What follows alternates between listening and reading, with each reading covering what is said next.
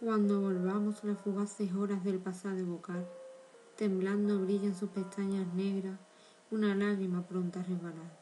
y al fin resbala y cae como una gota de rocío. Al pensar que, por hoy por ayer, por hoy mañana, volveremos los dos a suspirar